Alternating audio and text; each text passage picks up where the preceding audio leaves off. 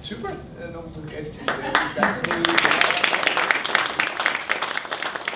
Leuk om te doen. Nou, hartstikke mooi dat dit er, er, op de eerste plaats nu, uh, nu ligt. ik heb net even een rondje handenschudden gedaan. Volgens mij heb ik niet iedereen gehad, omdat er nog weer mensen naar binnen liepen. Maar ik ben Eugène van Mierlo, sinds 2018 wethouder bij de gemeente Almelo.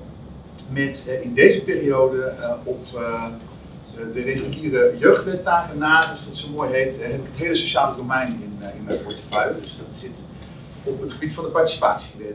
Een jaar geleden heb ik contact opgenomen met de universiteit, Saxion, College Heilig VA.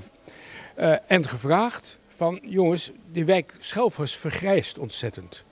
Willen jullie eens meehelpen te kijken hoe beleven dus de bewoners, de senioren, deze wijk en hoe denken ze in deze wijk oud kunnen worden? Wat moet er gebeuren?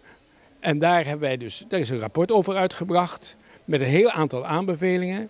En vervolgens gaat nu een werkgroep aan de slag, samen met een heel aantal bewoners die ook deelgenomen hebben aan dit geheel, om ook die aanbevelingen in concrete daden om te zetten. Soms heb je een steuntje in de rug nodig, soms een kleine bijdrage, eh, maar een heel aantal dingen kun je realiseren zonder dat er veel extra geld of gewoon extra geld moet komen. Uitgangspunt is dat bijna iedereen, als hij oud moet, wordt, ook in zijn eigen huis blijft wonen. Dat huis is vaak niet toekomstbestendig. Wat moet ik er nu aan doen om het toekomstbestendig te maken? En daar willen wij op inzetten. Dat willen we dan doen door in een hele straat de mensen uit te nodigen. En er komt een wooncoach bij en die vertelt, maar mensen kunnen ook zelf vertellen hoe zij hun woning al toekomstbestendig hebben gemaakt. Dan krijg je een inspectie van de woningen. En vervolgens gaan we weer gezamenlijk praten van wat moet er gebeuren en hoe financieren wij dat. Om een voorbeeld te geven. En we vinden ook dat de Schelf een veel meer een belangrijke functie in ontmoeting moet krijgen in deze wijk, de Schelfhorst. Dat er ook weer een informatiepunt moet komen.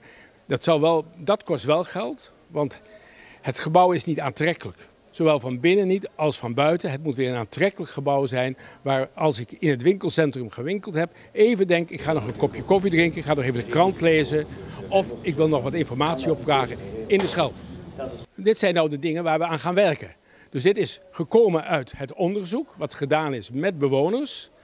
Daar is onder andere over woningen wat gezegd, over digitalisering is wat gezegd, over de schelf, over heel veel dingen. En we gaan pakken daar nu een paar punten uit. Ik heb er nu net twee genoemd. Eén is ook het punt digitalisering. En dat gaan we nu concreet omzetten in acties.